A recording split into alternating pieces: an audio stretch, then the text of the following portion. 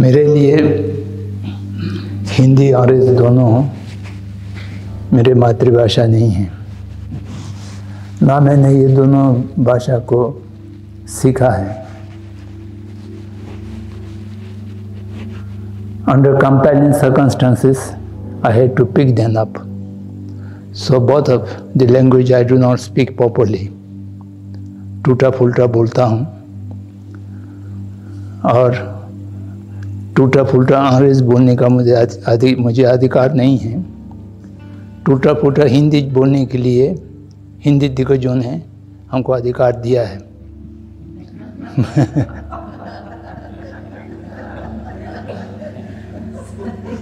आचार्य हज़ार प्रसाद द्विवेदी जी मेरे ऊपर बहुत कृपा रखते थे। तो उनके साथ मेरे बहुत वार्तालाप होते थे। तो वो जो कहते थे, मैं समझता था। मैं तिब्बती में उसका उत्तर देते थे और स्वर्गीय सिंपा जी या कभी टश पेंजोर जी हमारा अनुवादक होता था। तो वो मेरे बातों को आचार्य जी को हिंदी में समझाते थे और वो सीधे हमसे बात करते थे। तो एक दिन पूछा कि आप हिंदी क्यों नहीं बोलते हैं? आप समझते तो हैं तो बोलिए। मैंने कहा कि शब्दों का तो कुछ याद है, लेकिन व्याकरण की जान नहीं है। विशेष रूप से लिंग भेद, काल भेद में बहुत त्रुटि हो जाती है। तो दिवेजी ने कहा कि अच्छा सिंपा जी, आप जाइए, हम दोनों को अकेले बैठने दीजिए। तो सिंपा जी को उन्होंने निकाल दिया। फिर उसने कहा कि, उन्होंने कहा कि आप जो कुछ मुँह में आए, बोलिए। हिंदी में कोई व्याकरण से बंधा हुआ नहीं। है भाषा का उद्देश्य है संप्रेषण होना, एक दूसरे को समझाना। आप बोलिए, दही खट्टा है, तभी समझ जाएँगे। आप बोलिए, दही खट्टी हैं, तभी समझ जाएँगे। तो उसमें व्याकरण क्यों चिंता करना है? तो फिर उन्होंने बहुत आग्रह से कई जगह मुझे हिंदी में बोलने का कार्यक्रम रखवाया। तो इसलिए मैं कहता हूँ, मैं गलत हिंदी बोलने का अधिकार मुझे प्राप्त है। Yesterday we talk about the view points of cooperation and struggling And uh, also we talk about the effects of the modernity and modernization. And then uh, finally we also talk about what we can do, what we should do, particularly in the coming 10 years. These few things we have deliberated yesterday.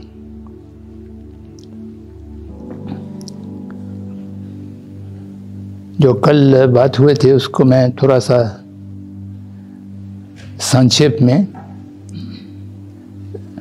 स्मरण दिला देता हूँ। उस पहले एक और बात जो शुरू में कहना चाहिए था। पहला दिन ही कहना चाहिए था, वो रह गया है। वो ये है कि मैं जो कुछ आपके सामने निवेदन करता हूँ whatever I Put before you is either my view point और coming from the scripture, Buddhist Wangmai. So it is only a suggestion before you, a thing for your consideration. You should not accept them. उसको मान लेना नहीं चाहिए जानने की प्रयास करना चाहिए तथागत बुद्ध के ये विशेषता थे अन्य शास्त्राओं से उनका कुछ भिन्नता क्या होता है?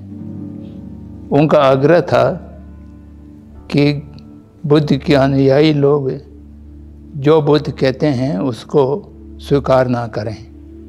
बुद्धा के प्रति श्रद्धा होने के कारण, बुद्धा के प्रति गौरव होने के कारण या बुद्धा के प्रति आस्था होने के कारण वो जो कुछ कहते हैं उसको मान लेना ये ठीक नहीं है। एक बहुत प्रसिद्ध चुड़क है। हर शास्त्रों में उसकी उदाहरण होता है। गिलोंग तागम खे नाम से सिख जे दर तो लेपर तालंगा एक कला और चाहे क्वेश्चन में ये प्रसिद्ध इसलिए हुआ कि आचार्य शांतरचित ने अपने न्याय ग्रंथ के प्रारंभ में ही ये लिखा, इसका उदाहरण किया। इसका अर्थ यह है कि कोई गोल्ड स्मिथ या गोल्ड की कोई चीज़ बनाने वाले, उनको स्वर्ण दिया जाए तो वो पहले स्वर्ण का परीक्षण करता है कि वो सही, खालस सोना है कि या नहीं। तो उसके लिए वो आग में जलाते हैं। और उजारों से काटते हैं और पत्थर पर रगड़ते हैं। ऐसा तीन किस्म की वो परीक्षण करते हैं। तब जाकर के वो कहते हैं कि इस शुद्ध सोना है कि या नहीं है। तो उस तरह से जो मेरे कथन को, भगवान बुद्ध के कथन को आप अपने तार्किक दृष्टि से प्रत्यक्ष विषयों को, प्रत्यक्ष प्रमाण की कोई कंट्रोडिक्शन तो नहीं है। अप्रोच चीज़ों को अनुमान प्रमाण के माध्यम से कोई दोष तो नहीं है। अति अप्रोच चीज़ों को आगम प्रमाण के माध्यम से कोई दोष नहीं आता है। या आगे पीछे कहीं अंतर विरोध तो नहीं है, या शब्दों की अशुद्धता तो नहीं है। ये सारे चीज़ के माध्यम से परीक्षण करने के बाद अगर आप समझते हैं कि ये सही हैं, तब स्वीकार करिए। नहीं तो बुद्धा की कहा है बुद्धा ने कहा है, ये कह करके स्वीकार मत करिए। तो ये एक बहुत विशेषता है। तो इसलिए आप लोगों ने मुझे इस संवाद के संचालन करने के लिए कहा गया। और एक पृथक आसन दे करके ऊँचा बैठाया गया। तो इसका अर्थ नहीं, ये नहीं है कि मैं जो कह रहा हूँ, वो सब सही है। उसको आप मान लेना चाहिए। उसको आप जान लेना चाहिए और जानने के बाद या तो स्वीकार करिए या अस्वीकार करिए। तो बिना जाने अस्वीकार करना भी सही बात नहीं है। जान करके स्वीकार और नकार करना, ये पृछावन बौद्धवांगमय में के बाद आता है पृछावन शुरता, पृछावन अनुयायी, वो परीक्षण करके उसको अपनाते हैं या मानते हैं या जानते हैं। तो इसलिए ये परीक्षा करने की एक वस्तु, आगम की वस्तु, शास्त्रों की वस्तु हो सकते हैं। मेरे अपने दृष्टिकोण हो सकते हैं, वो मैं आपके सामने रख रहा हूँ। तो उसको आप परीक्षा करें, उसको एकदम स्वीकार ना करें। ये एक बहुत महत्वपूर्ण बिंदु है जो आपके मन में हमेशा रहना चाहिए। कल मैंने संक्षेप ये किया था कि original mind ordinary rational mind का शब्द मेरे द्वारा उपयोग हुआ है। इसमें कोई शास्त्रीय या दार्शनिक पारिभाषिक शब्दों की श्रेणी में ले जा कर के परीक्षा करने की आवश्यकता नहीं है। ओरिजिनल माइंड में उस उस चित्त को, उस विचार को या उस मन को कहता हूँ, जो आधुनिक के दबाव से, चाहे वो एजुकेशन के माध्यम से हो, चाहे वह सामाजिक रीति रिवाजों या मान्यता के माध्यम से हो, या बहुमत के माध्यम से हो, उससे प्रदूषित ना होकर के इन्फ्लुएंस ना होकर के, दबाव में ना आकर के, अपने यथाशक्ति जो समय के हितु है, उसके माध्यम से परीक्षा करें। वह चित्त एकदम किसी भी दबाव से इन्फ्लुएंस नहीं हुआ हो, ऐसा भी होना संभवतः आजकल संभव नहीं है। लेकिन ओरिजिनल माइंड मैं उसको कहता हूँ, जो माइंड या तो कंडीशन फ्री हो, या अवेयर हो कि मैं कंडीशनड हूँ। The awareness of the limitation of one's mind, one's thought. और उसके साथ उस लिमिटेशन को देखते हुए परीक्षा करने की चेष्टा करते हैं उसको हम ओरिजिनल माइंड कह सकते हैं और उसके अतिरिक्त जो बाह्य कारणों से प्रभावित हैं दबाव हैं इन्फ्लुएंस्ड हैं इतना ही नहीं आजकल तो बहुत पक्के ढंग से ब्रिंग वॉशिंग और इंटोट्रीनेशन किया हुआ रहता है। ब्रिंग वॉशिंग और इंटोट्रीनेशन का शब्द बहुत पुराना नहीं है। डायलेटिकल मेटीरियलिज्म की जो विचार था वो चरम सीमा पर थे। तो ये दो चीज़ बहुत अत्यंत आवश्यक उपकरण माना गया था कि लोगों को इंडोट्रीनेट करना चाहिए या ब्रेन वॉश करना चाहिए। तो जिसको कल्चर रिवोल्यूशन के नाम से भी, दिमाग के क्रांति के नाम से भी कहीं कहीं पुकारा गया है, ताकि मनुष्य को एकदम परंपरा के स्रोतों से या अपने जड़ों से एकदम विच्छिन्न कर दिया जाए, वो कहीं कहीं ठोस ताल पर वो खड़े ना हो पाए। जब वो खड़े नहीं हो पाएँगे, तब वो हमारा आज्ञाकारी होंगे, जो हम बताएँगे, उसको करेंगे। तो इसलिए वो सारा, यहाँ तक कि पुरातन वस्तुओं को भी हटा दिया जाता था कि लोगों के सामने ना आवें, पुराना याद ना आवें। तो ये सब इंडोट्रीनेशन की और ब्रिंग वॉशिंग की प्रोसेस में है। हमारे पास ऐसा तो नहीं है, लेकिन सारा एजुकेशन इस प्रोसेस की एक उपज है। So we are doing something like that अगर उससे प्रभावित हैं और प्रभावित होने की जानकारी या बोध अपने को नहीं है, तब हम ठीक ढंग से तार्किक या रैशनल नहीं हो सकते हैं। तो इसलिए उसकी बौद्ध होना ज़रूर है। तो इतना मोटा मोटे रूप से इतना समझें। Who are not aware of the condition they doesn't have the original mind who have recognize my mind is conditioned even conditioned my mind is being uh, uh, polluted or something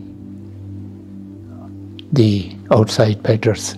So this awareness is absolutely necessary.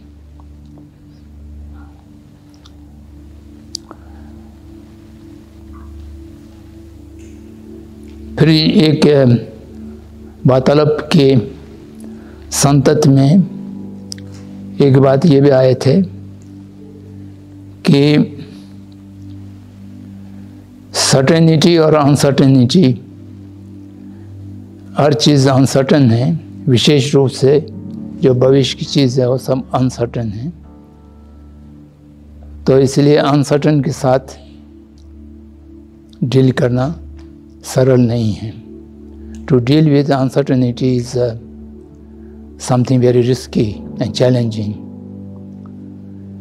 so for that matter I wanted to remind you that all the uncertainty is come with a definitive certainty. Nothing is uncertain without a couple of certainty with it. For example, all the person who have born are certain to die. The death is uh, 100% or 200% certain. Nobody can challenge that certainty. And with that certainty, the uncertain is when it will come, when the death will come. That is absolutely uncertain for everyone, for every jibdari. आज आएँगे कल आएँगे सौ साल के बाद आएँगे या बैठे बैठे आ जाएँगे या बहुत लंबे बीमारी के बाद आएँगे, ये किसको पता नहीं है। So similarly all the uncertainties the certainty is the change no composite thing is permanent the अनित्य सिद्धांत goes with all the which are composed by cause and conditions. Whatever thing is uh, created through cause and condition, that is bound to be decay. Or even you do, do not use the decay, the change, transformation is uh, always certain. So, therefore, the tradition was uh, not permanent, it changed and it decayed. Similarly, the modernity is also a temporary. So we should uh, know that it will also definitely undergo change. Now, what is uncertain is the change would be for the better or for the worse or for the some, something different. In that, the human effort might be uh, workable. परिवर्तन होने वाला है परिवर्तन अच्छे की दिशा में होंगे या और भी कर्व की दिशा में होंगे वह अनिश्चित हैं अब उसमें अच्छे की दिशा में होने के लिए मनुष्य को प्रयास करना चाहिए और वह प्रयास करना सतक होगा। और शायद ये मानव की दायित्व हैं कि एक चेंजेबल चीज़ हमारे सामने है, उसको नीचे गिराने की बजाय ऊपर उत्थान करें, उतर उतर जाएँ। तो उस दृष्टि से मनुष्य को चेष्टा करना चाहिए so that that point is also giving for consideration giving our mind to for consideration and examination.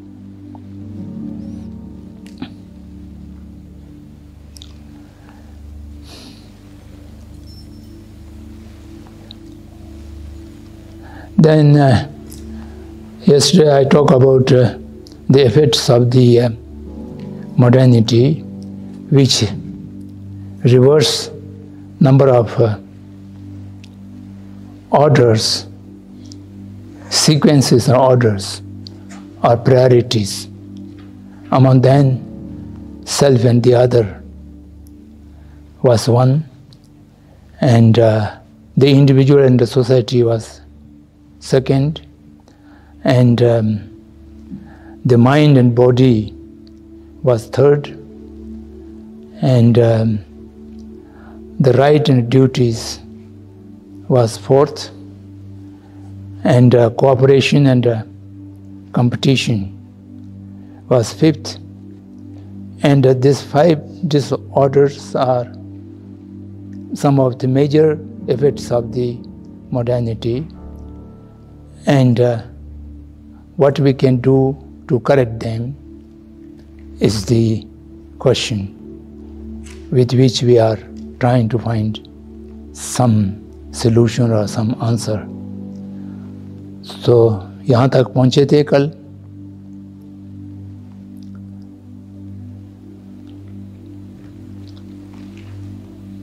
अब इसमें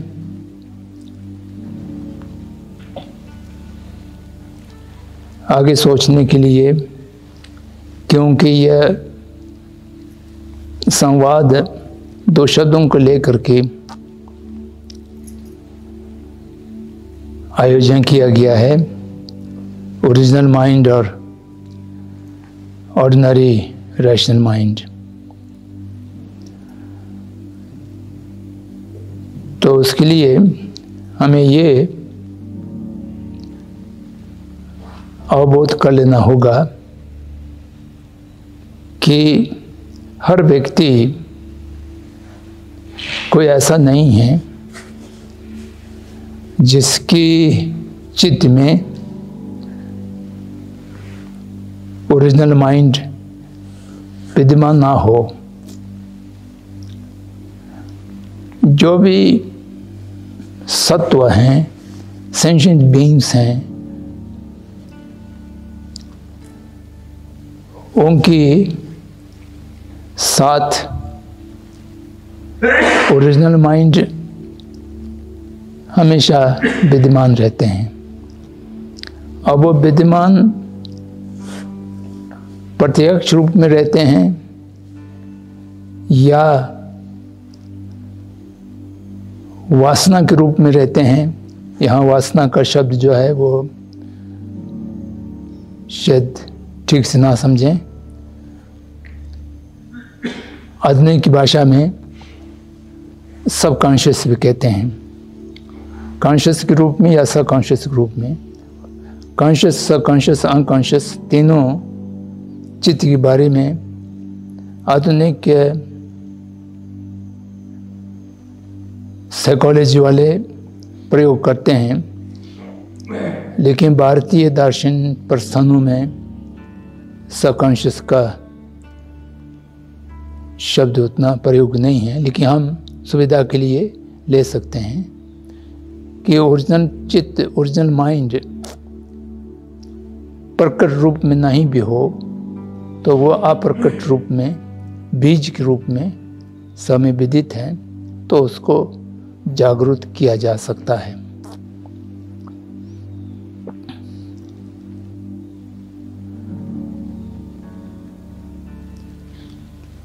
सामाजिक स्तर पर संपूर्ण विश्व के स्तर पर कोई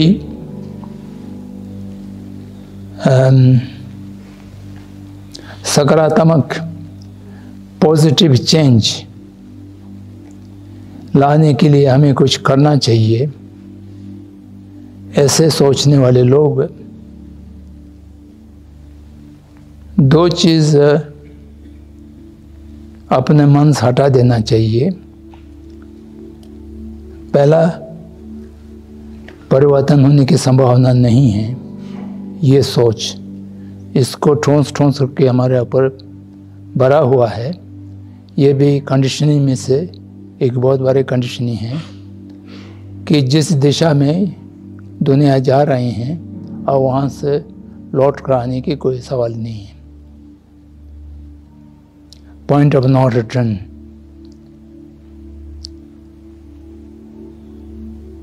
आगे नहीं जा सकते हैं, ये एक संभावना है। या आगे चलते रहेंगे, जल्दी या धीरे, उतना ही संभव है। अब इसको पीछे लौटाना। और पीछे लौटाना, ये शब्द जानबूझ करके इस्तेमाल किया गया है। गो बैक हमको पीछे लौटना कुछ नहीं है। जिस तरफ़ हम दौड़ रहे हैं, वो सही मार्ग में दौड़ें, गलत मार्ग में ना दौड़ें। हम मार्ग परिवर्तन की बात कर रहे हैं। हम आपको दौड़ने से रोक नहीं रहे हैं। और आपकी दौड़ने की क्षमता को भी समाप्त नहीं कर रहे हैं। लेकिन जिस रास्ता में आप दौड़ रहे हैं, वो रास्ता आगे जा कर के कहाँ पहुँचेंगे, उसके बोध दौड़ने वाला को नहीं है। उसका बोध दौड़ने वाला को देने के लिए प्रयास कर रहे हैं। तो अनचेंजिबिलिटी की जो धारणा है, इस धारणा को मेरे दृष्टि से समाप्त करना होगा। ये प्रश्न उठा था, मैं बोल रहा हूँ कि ट्रांसफॉर्मेशन या विकास कॉज एंड कंडीशंस के सहयोग होते हैं, या उसके संघर्ष होते हैं। इसको दो दृष्टिकोण मैंने बताया तो ये प्रश्न उठा कि कौन सा दृष्टिकोण चुने? ये इसके लिए सब स्वतंत्र हैं, या उसमें से एक चुना चाहिए? स्वतंत्र की शब्द तो अगर यहाँ इस माने में समझा जाए कि कोई आदमी को बाध किया जा सकता है कि आपको ऐसा दृष्टि रखना चाहिए वो तो नहीं किया जा सकता है। कोई भी दृष्टिकोण रखें, वो तो ठीक है। लेकिन दृष्टिकोण सही होना चाहिए, गलत दृष्टिकोण को हम सही माना नहीं चाहिए, स्वतंत्रता के नाम पर। संघर्ष से विकास होता है या सहयोग से विकास होता है, ये दो अपोजिट चीज़ हैं। एक को मानने से दूसरा का मान्यता निषेध हो जाएँगे। तो इसलिए दृष्टिकोण, जो सही दृष्टिकोण होगा, उसको समय के दर्शन कहेंगे। और जो नहीं है ऐसा देख रहे हैं, उसको मिथ्या दृष्टि कहेंगे। तो हमें समय की दृष्टि ही रखना है। भगवान बुद्ध ने प्रथम धर्मचक्र परिवर्तन में आश्चर्य अंग आर्यमार्ग की दर्शना किया था। उसमें सबसे पहले समय की दृष्टि है। द राइट व्यू वस्तु को देखने की दृष्टि समय की नहीं होगा। तो उस वस्तु को ले करके आगे चलने की मार्ग भी सही नहीं होंगे। संघर्ष से विनाश होता है, सहयोग से विकास होता है। ये कोई तार्किक दृष्टि से नहीं देखना चाहिए, देखने आवश्यकता नहीं है। प्रत्यक्ष हैं। सहयोग तभी होता है प्रपोर्शनेट सम्मेलन हो। चार महाभूत सभी चीज़ों की हेतु है। हमारा शरीर चार महाभूतों से बने हुए हैं और समस्त जगत चार महाभूतों से बने हुए हैं। चार महाभूत अपने अपने स्वभाव में विपरीत हैं। तृष्ण आग, या तरल जल, स्थिर पृथ्वी, चंचल हवा, ये चारों का अपना अपना स्वभाव भिन्न है। और इसके संतुलन बिगड़ जाए, आग थोड़ा हो, जल ज़्यादा डाल दिया जाए तो आग बुझ जाएँगे। जलमय हो जाएँगे। या पानी थोड़ा हो, आग जलदा हो तो पानी बाप भाँग करके सूख जाएँगे। तो वो एक साथ रह नहीं सकते हैं। लेकिन उसका जब संतुलन बनते हैं तो उससे क्रिएशन होता है। क्योंकि वहाँ पर संघर्ष नहीं है कोऑपरेशन है। हमारा शरीर में चारों हैं। वो चारों प्रकृति के माध्यम से स्वतः हमेशा संतुलन बने रहते हैं। जितना अनुपात में जिसको काम करना है, उतना अनुपात में करते हैं। हर चीज़ अपने अपने स्थान पर रहता है। स्व अस्थित अपने अपने स्थान पर जितना जितना मात्रा में चाहिए, उतना स्थित हैं तो हम स्वस्थ हैं। और वो थोड़ा सा बिगड़ जाएँगे तो अस्वस्थ हो जाएँगे। एक चीज़ अपनी जगह से थोड़ा हिल जाते हैं।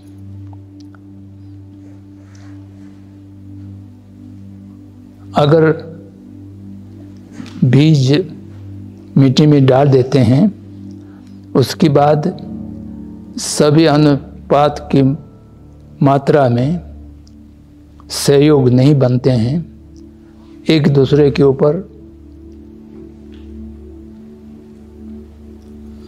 अधिकार या आदित्व प्राप्त करने की चेष्टा करेंगे तो हर चीज़ का विनाश होगा। चारों तत्वों में से कोई चीज़ें मिट जाएँगे तो उससे कोई नए उत्पन्न नहीं हो सकते हैं। और उसमें सहयोग का अर्थ ये है, अगर कोई सत्व होगा तो वो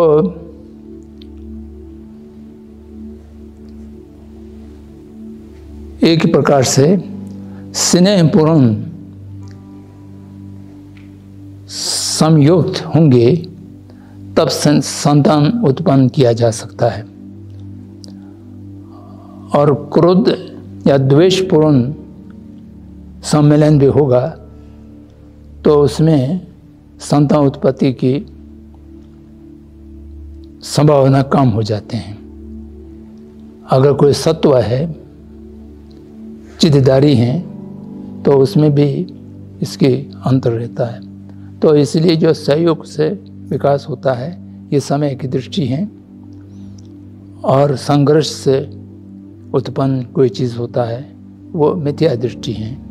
वो तार्किक की दृष्टि से परीक्षा किया जाए तो वो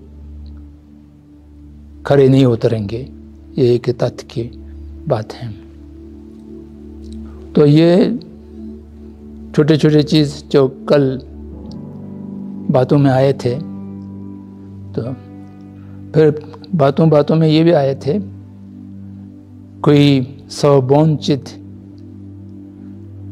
ओरिजिनल मन की तरह कोई ऐसा यूनिवर्सल कॉन्शियसनेस भी होते हैं कि नहीं होते हैं। उस दिशा में हम नहीं जाएँगे। यूनिवर्सल कॉन्शियसनेस की बात दर्शनों में बहुत आए हैं। विशेष रूप से कला के क्षेत्र में और साहित्य के क्षेत्र में इस बात को कहा जाता है। कुमार स्वामी ने इस पर बहुत लंबे अपने मत दिया है। तो वो ओरिजिनल मन के साथ हम अभी जोड़ेंगे नहीं, इसको अलग रखेंगे। तो उसका अपना एकेडमिक लेवल पर बातचीत होते रहेंगे। हाँ उसको नकारने की कोई ज़रूरत नहीं है। लेकिन मैं यहाँ ओरिजिनल माइंड की बात कह रहा हूँ, वो ये यूनिवर्सल कॉन्शियसनेस के विषय में जोड़ नहीं रहा हूँ, उससे अलग रख रहा हूँ। ये इंडिविजुअल माइंड है। इंडिविजुअल माइंड में अवेयरनेस ऑफ़ द कंडीशनिंग और द उतने से अपने विषय वस्तु को उस अवेयरनेस के साथ अप्रोच करने लायक जो होगा, वहीं ओरिजिनल माइंड की रूप में रखेंगे। तो आज आखिरी आखिरी तो आपके लिए तो नहीं है, लेकिन मेरे सहभाग्य जो है वो कल नहीं रहेंगे। तो इसलिए आज की चर्चा के लिए for discussion today I would like to draw your attention to few points The first point is, uh, as I mentioned before, we must uh, reject the idea that there's no remedy of today's problem. The modernity or the post-modernity is uh, a kind of uh, uh, human future which cannot be altered or which cannot be improved or something that idea should be rejected. And at the same time, to think that we can change it in few decades or that also entire globally. The globalization process did not took much time and in fact uh, within few decades the process of globalization of economy cultural i shouldn't say cultural mm, economy education and uh, uniformization of human thinking process. These were globalized in a just few decades or in one century or so. I was looking the speed of education process introduced in uh, India by Macaulay. It was sometime 1833-34 the idea was started. By the um, 1909, less than a century, the entire English education process has been implemented in entire India and uh, all the uh, ancient Indian education institutions are completely destroyed so that you know I need not. So 80 years or 90 years is not huge period. But can we think of uh, repairing it in such short period? It may be possible. But we have to be patient and we have to be plan it at least 100 years or 200 years and for which how we can uh, prepare the seeds and uh, we can sow the seeds and we can uh, try to uh, accumulate or create conducive conditions for those seeds. So these are the things our generation, our generation is also not a majority people, like-minded few people, we should think about these things.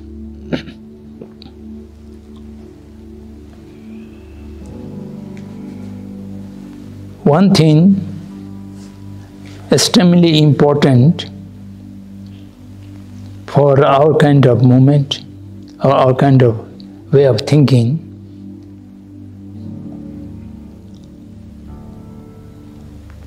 the first and foremost and indispensable mindset which need is a, a compassionate mind. Compassionate mind particularly for those perpetrators, wrongdoers who have uh, damaged the uh, entire humanity through the process of modernization.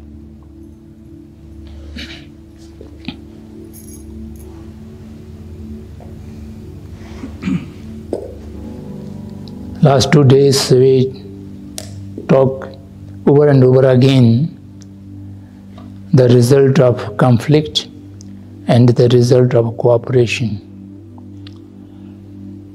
So we shall have to uh, cooperate with the perpetrators, help them to save them from the wrong, wrong path. For that purpose, we need uh, unconditional love and compassion to them. Because uh, the wrong action inevitably creates anger to the right thinking man. Even not anger, the kind of irritation is necessarily created. ये क्या कर रहे हैं, सब गलत कर रहे हैं। तो उसमें ज़्यादातर गुस्सा ही आ जाता है। अगर गुस्सा नहीं भी आए तो इरिटेशन होता है, ये गलत हो रहा है। ये आदमी अच्छा नहीं है, ऐसा सोचते हैं।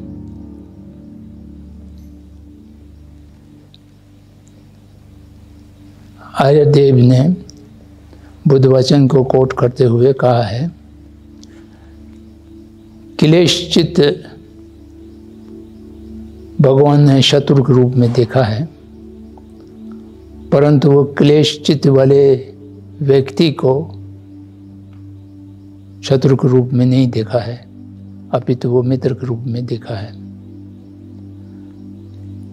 गांधी जी ने पढ़े तो नहीं होंगे इस शब्द को, लेकिन ठीक उस तरह से पाप से गणन करो, पापी को प्यार करो। ये गांधी जी का शब्द है। हज़ार वर्षों पहले आयुर्देवी जो कह गए थे, हज़ार वर्षों के बाद गांधी जी ने उसको बिना जाने रिपीट कर दिया। इसका अर्थ ये है कि उसमें कोई सत्य हैं, तथ्य हैं तो गांधी जी को ये विचार आया। जितना गलत काम हुआ है, उस काम को गलत कहना चाहिए। और अपने को उससे बचाना चाहिए। उस काम की भागीदारी में हम नहीं होना चाहिए और उसका प्रतिकार या विरोध करना चाहिए। लेकिन उसके साथ साथ उस काम करने वाले को प्यार करना चाहिए, स्नेह करना चाहिए। वह भी एक सत्व है, एक सेंशन बींग है। तो करुणा के पात्र हैं। तो ये अहिंसक कार्य की, जो भी अहिंसक कार्य हो, अहिंसक कार्य स्वार्थ में नहीं होता है। अहिंसा कार्य हमेशा प्राथमिक होता है। और जो प्राथमिक होते हैं तो अहिंसक तब हो सकता है जो समस्त प्रायण, समस्त सत्व अपने से पृथक जो भी सत्व हैं, वो सब एक ही जैसे मैत्री और करुणा की साधन हो, उसकी ऑब्जेक्ट में आए, उसकी पृष्ठभूमि में आए, तभी हम कुछ कर सकते हैं। तो ये बात समझना बहुत ज़रूर है। इसको अभ्यास करने के लिए, कुछ लोगों के लिए तो ज़्यादा समय ना लगे। अधिकांश लोगों के लिए जो नेगेटिव इमोशन के दबाव में ज़्यादा है, उन लोगों के लिए दस वर्ष भी शायद पर्याप्त नहीं होंगे। मैत्री, करुणा, बुद्धचित को साधने वाले साधक लोग हैं।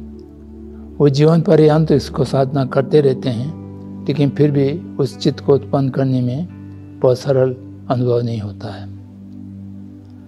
तो इसलिए संपूर्ण जगत के प्रति करुणा की भावना उत्पन्न करने की चेष्टा करना यह हमारा प्रथम कार्य होगा जो इसमें कुछ करने की प्रयास करते हो। तो उसके लिए बहुत सा साहित्य हैं, कैसा उस चित्त को उत्पाद किया जाए। विशेष रूप से बौद्ध और जैन, ये दो अहिंसक धारा हैं। अहिंसक साधना में जैन आगम या जैन धर्म, बहुत जगह पर बौद्धों से भी आगे जाते हैं। तो इसलिए कंपैशनेट माइंड को कैसा उत्पन्न किया जाए बौद्धों की वंगमाएँ से आप ले सकते हैं, जैनों के आगम से ले सकते हैं, वैसा समस्त भारतीय वांगमय अहिंसा को प्रमोट करते हैं। संतुलित करते हैं। लेकिन कुछ दार्शनिक के धारा ऐसा हैं, जहाँ जहाँ शत प्रतिशत हिंसा को नकारा नहीं किया है। कोई बड़े उद्देश्य के लिए अगर आवश्यकता पड़े तो हिंसा भी किया जा सकता है, ऐसा करने वाले लोग भी हैं। किसी भी हालत में हिंसा से कोई कम नहीं बनते हैं। ये कहने वाला जैन और बौद्ध दो परंपरा है। और फिर तीसरा, गांधी को माना जा सकते हैं। गांधी कोई धार्मिक प्रवक्ता तो नहीं है, लेकिन उनके सिद्धांत और उनके कथन और उनके कार्य पिछले हज़ार वर्षों में ऐसा कोई व्यक्ति उत्पन्न नहीं हुआ, जिसने कथन और कार्य को भेद नहीं रखा, एक ही जैसा कर पाया तो उनसे हम प्रेरणा ले सकते हैं। तो गांधी ने ये कहा है कि जिस परिवर्तन को आप समाज में ले आना चाहते हो, पहले अपने को उस परिवर्तन के माध्यम से बनो। तो उससे प्रेरणा लेकर के दलाई जी से प्रेरणा लेकर के फ्रांस और यूरोप के कई देशों में अब अफ्रीका वाला भी थोड़ा उसमें जोड़ गया है। तो एक छोटे समूह हैं बेटर वी बेटर वर्ल्ड उसका, उस मूवमेंट का नाम रखा है बेटर वी बेटर वर्ल्ड तो उसमें अधिकांशता युवक लोग हैं तो वो ये चेष्टा कर रहे हैं कि जो परिवर्तन हम दुनिया में लाना चाहते हैं, उसमें हम अपने को पहले कैसा परिवर्तित किया जाए? तो ये सोचने वाले लोग हैं। तो मैं समझता हूँ ये सही है। उनका लिटरेचर भी call for compassionate revolution Dalai Lama ji का एक इंटरव्यू था। तो वो चौदह भाषाओं में अनुवाद होकर के काफ़ी विस्तृत हो गया है।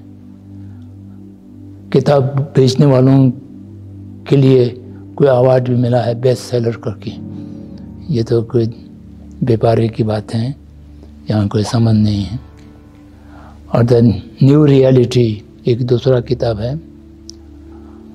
तो इन सब के माध्यम से लोग ये सोचते हैं कि इसमें कुछ करना चाहिए। तो उस काम के साथ कुछ ऐसे लोग भी जुड़े हुए हैं जो यूनाइटेड नेशंस की ये जो पर्यावरण संरक्षण के विषय में कन्वेंशंस बुलाते हैं या उसकी में काम करते हैं, वैसा भी लोग उसमें जुड़े हुए हैं। तो मैं इसलिए कि कह रहा हूँ कि आज हर जगह कोई न कोई समूह मिल जाते हैं जो कुछ परिवारन को लेकर के, कुछ आधुनिकता को लेकर के, कुछ हिंसा को लेकर के कुछ मनुष्य के स्वास्थ्य और मकान कपड़ा खाना की विषय को लेकर के पॉलिट्री को लेकर के ऐसा सोचने वाले बहुत हैं। तो इन सबको धीरे धीरे परस्पर सूचना आदान प्रदान हो। कहाँ पर क्या हो रहा है, कितना उसके प्रभाव हैं, नतीजा हैं, उन सबको एक दूसरे के साथ साझा करते रहने से इस कार्य को बल मिलेगा, ऐसा लगता है। तो फिर ये प्रश्न उठेंगे कि हम कैसे करेंगे। तो वो मैंने शुरू में ही कहा कि पहले अपने जीवन में उतारना, फिर अपने साथी संबंधी परिवार में उसको करना, फैलाना। तो उसके माध्यम से धीरे धीरे समस्त मानव के साथ उस काम को जोड़ना। ऐसा धीरे धीरे चलना होगा। गांधी जी ने लिखा है कि समस्त मानव की सेवा मैं अपने आसपास के लोगों के माध्यम से ही कर सकता हूँ। सबके पास मेरे पहुँच नहीं है। ये सही बात है। अंग्रेज़ में जो कहावत है ना थिंक ग्लोबली एक्ट लोकली वो कहावत बहुत अच्छे हैं। सोचना और योजना बनाना तो स्थानीय ही संभव है। ये ये पूरा मानव की संबंध में, पूरा सत्वम के संबंध में, संपूर्ण जगत के संबंध में होना चाहिए सोच। लेकिन उसको कार्यान्वयन करने के लिए अपने अपने स्थान से ही करना होगा। तो हम हर जगह एक जैसे पहुँच नहीं हैं, हमारे सीमाएँ हैं। तो फिर हम क्या करें? मैंने चार पाँच छः व्यवस्था अव्यवस्थित हो गए हैं, ये कहा था। तो हम अपने जीवन में इसको फिर से रिवर्स करके व्यवस्था मिला सकते हैं या नहीं, ये अपने जीवन में परीक्षा करना होगा। क्या हम अनेक को स्व से अधिक महत्व दे पाएँगे? कोई ऐसा परिस्थिति आवे तो? लोग को या समाज को व्यक्ति से ज़्यादा महत्व दे पाएँगे। चित्त और शरीर को चित्त को ज़्यादा महत्व दे करके शरीर को गौन कर सकेंगे। सहयोग और सपदा में से हम सहयोग को चुन सकेंगे। तो ये सारे चीज़ अपने स्थान पर जाँच पड़ताल करें, अपने समूह में जाँच पड़ताल करें। और इसमें हर किस्म की संभावना है। परिवार में ही अपने को इंकरेजमेंट या सहयोग ना मिले, जिसको हम एक प्रकार से गौण मानते हैं, वो अपने परिवार वाले दोष मानते हो। लौकिक के व्यवहार में स्व पर को ज़्यादा महत्व देना अव्यवहारिक जैसा लगेगा। और आजकल इंडिविजुअल राइट्स की फ्रीडम की जो बात चल रही हैं, उसमें भी कोई अपने राइट्स को छोड़ना मुख्यतापूर्ण नहीं लगेगा बहुत लोगों को। तो ऐसा लगे, अपने निकट परिवार में लोगों को ऐसा लगे और ऐसा संप्रेषण भी करें तो हम उसको कैसा डील करेंगे। तो इसलिए ये एक बहुत लंबे प्रोसेस हैं। गंभीरता से ऐसा कुछ करने की पाँच, दस, पचास, सौ साल की माध्यम में एक, दो, तीन, चार पीढ़ियों तक हम इसको ले जाने की सोचता हो। तो छोटा समूह बैठ करके दो तीन महीने के समय देकर चिंतन करके फिर एक खाका तैयार किया जा सकता है। खाका एक भी ना हो, चार, पाँच, दस जहाँ जहाँ स्थानीय परिस्थितियाँ हैं लोकल कंडीशंस को देखते हुए इंडिविजुअल कंडीशंस को देखते हुए। लेकिन इसमें शिक्षा को हर लोग साथ में लेना, जो भी खाका बनेगा, उसमें बच्चों की शिक्षा में हम कैसा इस बात को ला सकते हैं। एजुकेशन सिस्टम को कैसा परिवर्तित किया जा सकता है?